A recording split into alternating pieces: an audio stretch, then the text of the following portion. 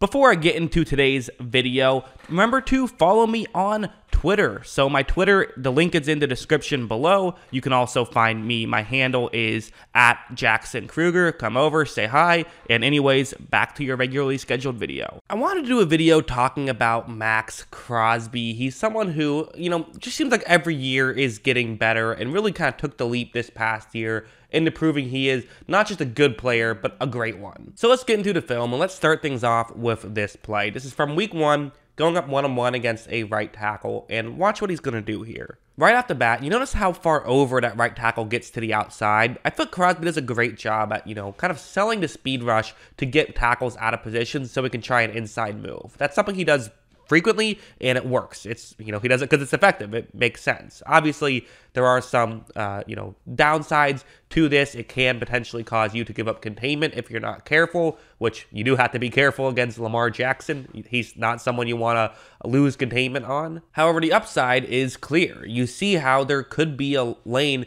in between the tackle and the guard that he can run through, and that's what he's going to try and do, basically. Just kind of run almost through the tackle, but get to the tackle's left side of his body, which can allow him to still not give up the containment, while making sure that he can create some pressure on Lamar Jackson. Watch, as you see, that's going to be exactly what he does. Jackson gets rid of the football right before Crosby gets there, but still, very good play by Crosby. And these are the kind of things he does consistently. And obviously, with edge rushers, consistency matters a lot. It's sometimes less about, uh, you know, do you get pressure or are your impressive plays impressive? It's more about how often are you getting pressure. And he gets pressure often. You also have something like this where it's kind of that mixed with this is what really makes Crosby great. So you can get the inside move, but he can also beat you to the outside, and this is going to be an example of him doing that. Right when this play begins, he can kind of, you know, fake as though he's going to the inside to freeze that tackle a little bit. Look, you see 78 there, he's not exactly sure what's happening,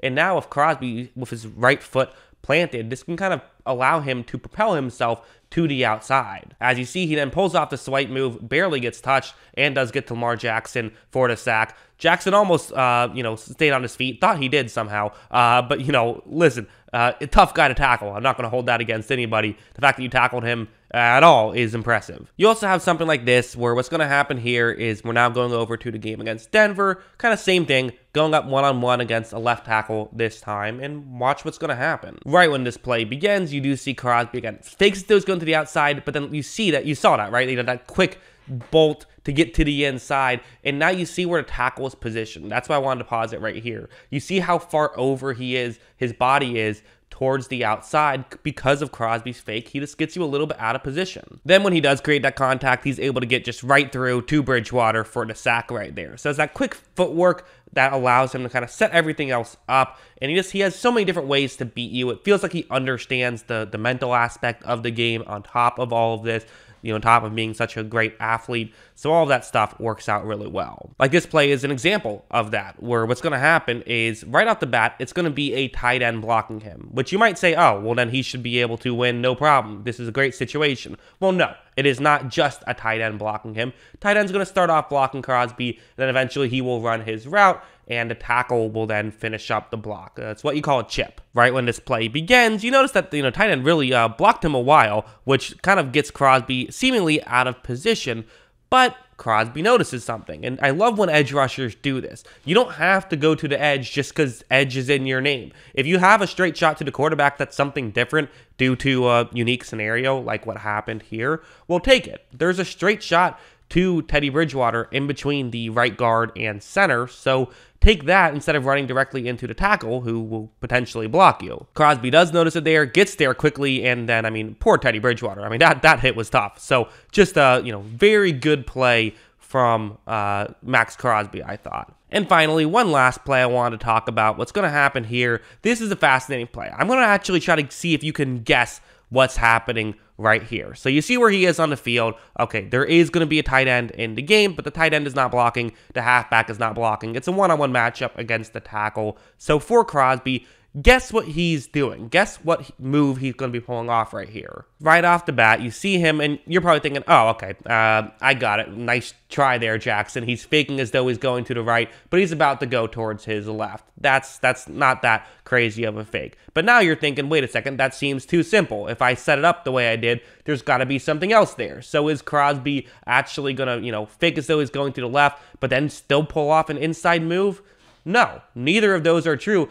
Crosby is not going to go near to tackle. That's not what he is doing on this play. This is what you call a stunt. You see that gap right there, the one that he ran through last time? Well, that's what he's going to do again. This time by design. Last time was sort of just something that presented it itself. But this is basically how this play works is you have an interior defensive lineman run to try and clear out the right guard, which worked, and then you simply just have your edge rusher swing all the way over. This play concept itself, it's something every team does, but the way Crosby did it, of kind of faking as though he's going to the right, now making it look like he's going to go to the left, but he's not even actually going to be going towards the tackle at all. He's just fully selling a move. That little subtle move, I think, is really brilliant and something that I think more guys should do. Very smart, intelligent play by Maxx Crosby. And as you see, he then does swing over. He is going to get to Bridgewater for a sack. So, really, just again, doing the little things. That's what you want out of an edge rusher. And that's a great example of an edge rusher just doing the little things. And if you do the little things,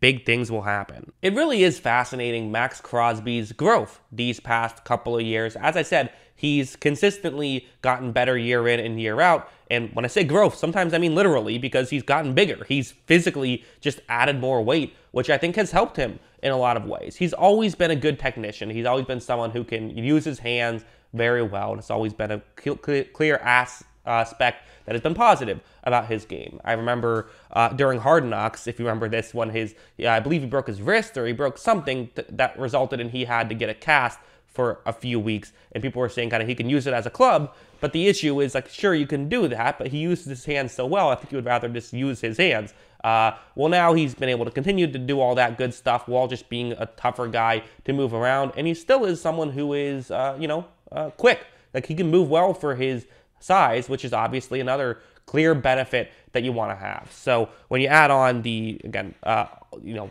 I think that he can. He's very very smart player. I don't want to do the stereotypical thing of saying you know white edge rusher, smart player, high motor, but he is a smart player who has a high motor. That's that is true. Uh, and he also is someone who, again, uh, just incredible athlete. The way he can move at his size, just it's such a great combination. That that's kind of what I think. What do you guys think? Let me know in the comments below. What are your thoughts on Maxx Crosby? I'm sure Raiders Nation will be in the comments telling me their thoughts on Maxx Crosby. Let me know yours. Always love hearing from you.